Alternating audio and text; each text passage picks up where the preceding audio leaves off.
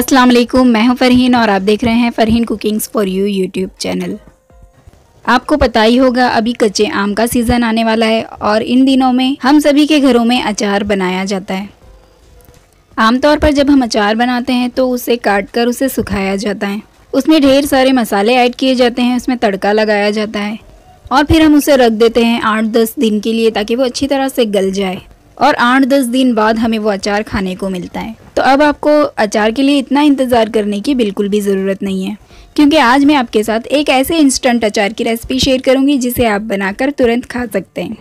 तो फिर चलिए देखते हैं ये इंस्टेंट अचार मैंने कैसे बनाया है और इसे बनाने के लिए हमें किन किन चीज़ों की ज़रूरत है। अगर आपने मेरा चैनल सब्सक्राइब नहीं किया है तो इस लाल सब्सक्राइब के बटन को दबाएँ और घंटे के निशान को दबाकर ऑल पर क्लिक करने से आप मेरी वीडियो सबसे पहले फ्री में देख सकते हैं। वीडियो पसंद आए तो थम्स अप ज़रूर दें। तो अचार बनाने के लिए यहाँ पर मैंने एक किलो कच्चे आम लिए हैं, जिसको मैंने धोकर अच्छी तरह से सुखा लिया है। तो इसे हमें काटना नहीं है। इसे हम ग्रेटर की मदद से ग्रेट कर लेंगे। कद्दूकस कर लेंगे इसे।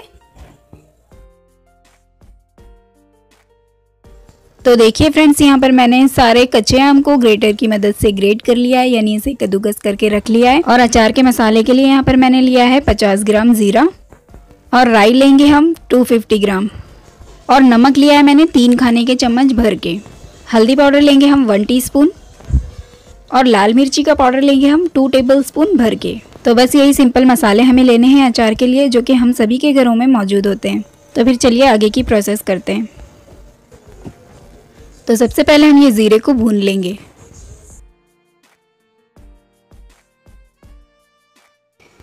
तो देखिए, ज़ीरा हमारा अच्छी तरह से भून चुका है तो हम इसे निकाल लेते हैं।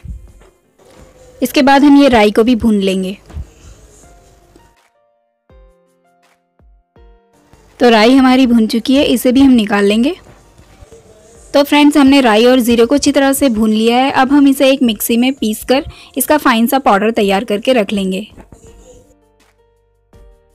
इसके बाद हम एक बड़े से बर्तन में ये ग्रेट की हुई कच्ची कैरी को डाल देंगे, ताकि ये कच्ची कैरी में हमें मसाले मिक्स करने में आसानी हो सके।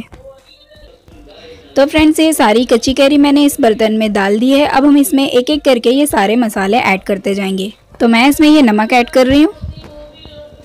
और ये हल्दी पाउडर हम ऐड करेंगे। लाल मिर्ची का पाउडर भी हम इसमें डाल देंगे। और जो हमने राई और ज़ीरे का पाउडर बना लिया था, इसे भी हम इसमें डाल देंगे। और फिर इन सभी मसालों को हम अच्छी तरह से मिक्स कर लेंगे।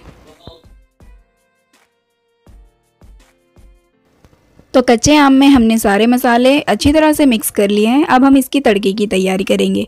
उससे पहले हम देख लेते हैं कि इसके तड़के के लिए हमें क्या क्या चीज़ें चाहिए।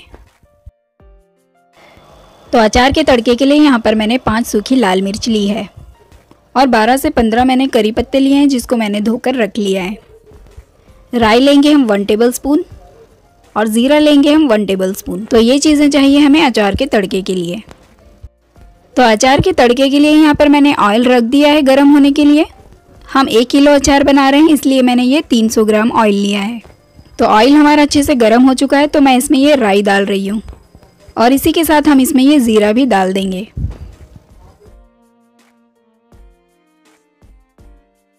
और जो सूखी लाल मिर्च हमने ली थी, उसे हम इस तरह से तोड़कर इसमें डाल देंगे।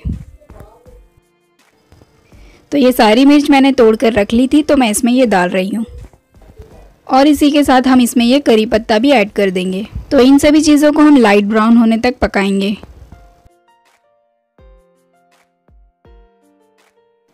तो तड़का हमारा रेडी है तो हम इसमें ये ग्रेट की हुई कैरी डाल देंगे।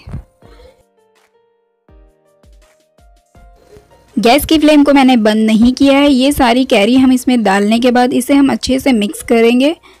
और जैसे ही ये अचार अच्छे से मिक्स हो जाएगा तो हम इसकी गैस की फ्लेम ऑफ़ कर देंगे।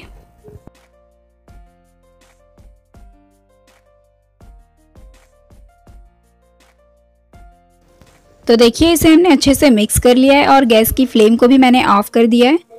तो अब हम इसे रख देंगे कुछ देर के लिए ठंडा होने। जब ये ठंडा हो जाएगा तो हम इसे एक कांच की बोतल में भर कर रख लेंगे। तो लीजिए फ्रेंड्स, तैयार है हमारा इंस्टेंट अचार। आप इसे जब भी मन करे बनाकर खा सकते हैं। ऐसा नहीं है कि आप इसे बहुत ज़्यादा क्वांटिटी में बनाकर रखें। अगर आपके पास एक दो कैरी भी रखी हुई है और आपका मन कर रहा है अचार खाने को तो आप इसे फ़ौरन बनाकर खा सकते हैं। तो उम्मीद करती हूँ आपको मेरी ये इंस्टेंट अचार की रेसिपी पसंद आई होगी। अगर पसंद आई है तो इसे लाइक और शेयर ज़रूर करें फैमिली मेंबर्स के साथ फ्रेंड्स के साथ। और अगर आप मेरे चैनल पर पहली बार आए हैं तो इसे काइंडली सब्सक्राइब करें। और बेल के बटन को ज़रूर प्रेस करें ताकि मेरी नई वीडियो का नोटिफिकेशन सबसे पहले आप तक पहुँच सके। तो मिलते हैं किसी और रेसिपी के साथ। तब तक के लिए फ़रहीन को दीजिए इजाज़त, दुआओं में याद रखें, अपना ख्याल रखें। अल्लाह हाफिज़। आपने मुझे अभी तक सब्सक्राइब नहीं किया तो इस बटन को दबाकर भी आप मुझे सब्सक्राइब कर सकते हैं।